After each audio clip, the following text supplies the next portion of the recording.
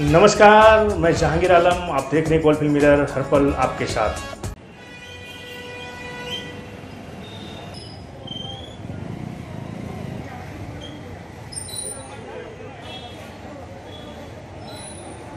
रानीगंज में जो कोरोना की परिस्थिति है, उसको लेकर हम लोग बैठे थे।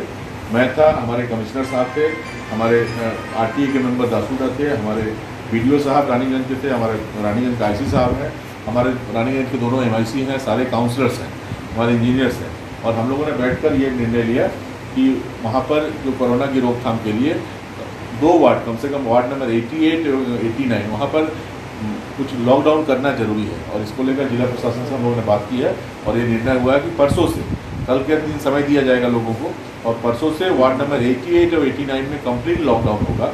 और बाकी जहाँ जहाँ जहाँ कोरोना के पेशेंट मिलेंगे वहाँ कंटेनमेंट जोन बनाकर उसको रोकथाम करने का प्रयास किया जाएगा सघन माइकिंग किया जाएगा एक वहाँ पर कंट्रोल रूम खोला जाएगा जिससे लोगों को सुविधा दी जा सके और हम एक चीज़ पर हम सारे लोग एक बात है कि हम सारे लोग कलेक्टिवली प्रयास करके कोरोना से রানীগঞ্জ को মুক্তি দিলাম যে কোভিড নাইন্টিন যে পরিস্থিতি সেটা নিয়ে আজ আমরা বসেছিলাম আমি আছি আমাদের কর্পোরেশনের কমিশনার সাহেব আছেন রানীগঞ্জের বিডিও সাহেব আছেন আমাদের আরটিএ মেম্বার ভি সিদ্ধার্থন দাসুদা আছেন, আমাদের আইসি রানীগঞ্জ আছেন এবং আমাদের ওই পুরো যত কাউন্সিলর আছেন, তারা আছেন আমাদের এমআইসি দিবেন্দু ভগত হেলথ আর এমআইসি ওয়াটার পূর্ণসূচি রায় আছেন, সমস্ত কাউন্সিলররা আছেন এবং সবাই আলোচনার মাধ্যমে যেটা সিদ্ধান্ত আমরা নিয়েছি, যে আমরা যেটা রিকমেন্ড করছি এবং ডিএম সাহেবের সঙ্গে কথা হয়েছে, উনিও সেটা মেনে নিয়েছেন, ওটাই ভাবে যে আমরা রানিগঞ্জে ওয়ার্ড নাম্বার এইটি এইট এবং এইটি নাইন সেটা আগামী পরশু থেকে। এটা দিন সাতেকের জন্য সম্পূর্ণ লকডাউন হবে। দুটো ওয়ার্ড আমরা ফুল লকডাউন করছি এইটি এইট এবং এইটি নাইন এবং এটা ছাড়া অন্যান্য ওয়ার্ডে যেখানে যেখানে কোভিড নাইন্টিনের কেস পাওয়া যাবে, সেখানে লোকাল প্রশাসন কন্টেনমেন্ট জোন তৈরি করে সেখানে এটাকে মানে কী করে আটকানো যায় তার চেষ্টা করবে। এবং ডিউরিং এই পিরিয়ড মানুষের যাতে অসুবিধা না হয়, তার জন্য রানিগঞ্জে আমাদের একটা, কী নাম কন্ট্রোল রুম অলরেডি করা হবে, যেখানে চব্বিশ ঘণ্টা ওই কন্ট্রোল রুম খোলা থাকবে, বিভিন্ন পরিষেবা দিতে পারে এছাড়াও মার্কেট মার্কেট কীভাবে রেগুলেট হবে, অন্যান্য দোকান কীভাবে রেগুলেট হবে, সেটা আমাদের বিডিও সাহেব আছেন এবং আমাদের থানা আইসি আছেন।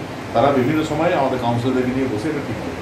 এবং আমরা সিদ্ধান্ত নিয়েছি যে সবাই মিলে সবাই মিলে রানীগঞ্জে এই যে কোভিড নাইন্টিনের প্রকোপ আমরা দেখেছি, এটার থেকে এই শহরকে মুক্ত করার যা করণীয়, সব মিলে আমরা সবাই মিলে এটা করব এবং আলটিমেটলি আমার দৃঢ় বিশ্বাস যেভাবে আমরা পরিকল্পনা করেছি এটা যদি মানুষের সাহায্য নিয়ে যদি আমরা করতে পারি তো হয়তো দশ পনেরো দিনের মধ্যে ভালো রেজাল্ট আমরা বলছি লকডাউন লকডাউনে কদিনের জন্য হ্যাঁ?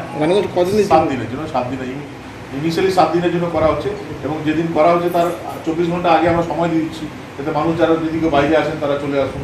যদি কারও প্রয়োজনীয় জিনিসের কেনাকাটা করা হয় সেটা করে নেয় তার জন্য আমরা চব্বিশ ঘণ্টা সময় ওই বিষয়ে কি মাইকিং করা হবে? মাইকিং তো হবে মাইকিং কাল থেকে স্টার্ট হবে। মাইকিং অলরেডি থানার তরফ থেকে করা হচ্ছেও। তো আরও বেশি মাইকিং বাড়ানো হবে কালকে চব্বিশ ঘণ্টা মাইকিং হবে। এবং দুটো দুটো ওয়ার্ড বেছে নিয়ে একটা করে গাড়ি দিয়ে মাইকিং হবে। দেখা যাচ্ছে যে শিল্পাঞ্চলে বেশ কিছু জায়গায় এই মাস্ক পরার ব্যাপারটা কিন্তু মানুষ ভুলেই যাচ্ছে।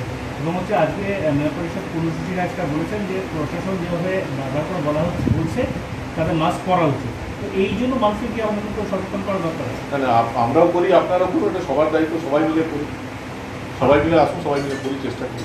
অপপ্রচারের একটা অভিযোগ কিন্তু উঠছে তো সেটা কি হয় তখন মানে বুঝতে পারলাম মানে এটা দেখুন এটা তো তো আপনাদের প্রেসের তো একটা ভূমিকা আছে। আপনারা তো এটা মানুষের যেটা সঠিক সেটাই তো মানুষের কাছে তুলে ধরতে পারবেন।